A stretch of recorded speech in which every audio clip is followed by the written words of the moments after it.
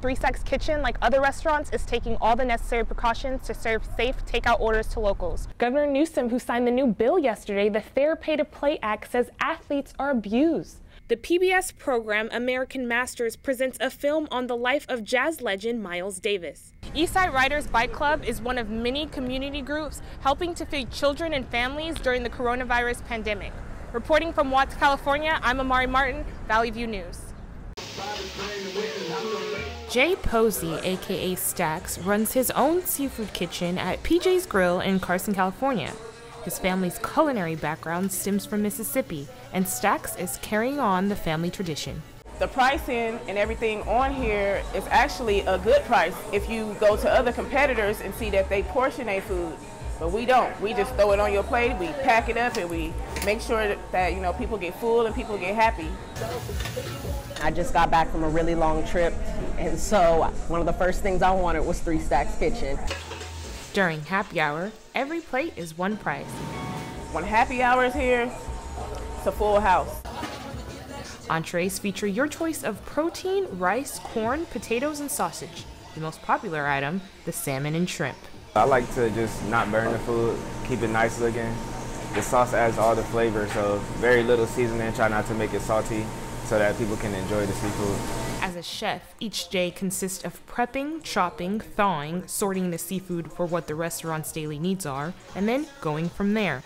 Orders can feature crab, lobster, and more.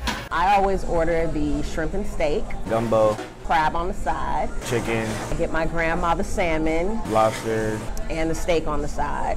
And that's how we go.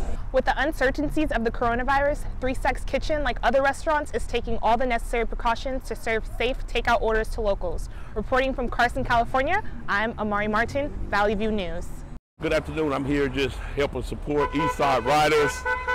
On the corner of Compton and 103rd in Watts. The grill is hot, and people wear masks of several types. They're here to serve hundreds of pancake meals. We have a drive-through now. This is the line here. Michael Cummings keeps a close watch. The line is on Compton Avenue all the way to Century. Under one tent, the assembly line begins with mix, spray, and careful pouring. The meat sizzles, and the music helps. It's about 4,000 uh, meals a week. John Jones of Eastside Riders Bike Club is in charge. The kids um, was going to be out of school, and we thought that it was important that they continue to have a meal. Finished here, the food moves to another tent for distribution. I just wanted to come out and help and, and assist. And they keep pushing. Eight to 10 plates, that's what we take to the car, and then everybody moves along. Because we all are in this together. Eastside Riders Bike Club is one of many community groups helping to feed children and families during the coronavirus pandemic. Reporting from Watts, California, I'm Amari Martin, Valley View News.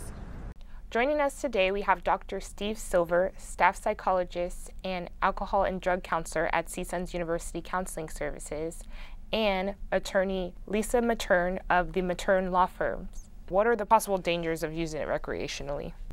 You know, the brain isn't fully developed till around 25, 26 years old, um, particularly the frontal cortex, which is planning, executive functioning, thinking through consequences, decision making. Is there a legal difference between consuming CBD and THC? Yes, okay, so uh, CBD is non psychoactive and THC is psychoactive. So CBD is more like it's derived from hemp, um, and President Trump legalized. Uh, cultivation of hemp. So that means CBD is legal. Thank you so much. That's all we sure. have time for today.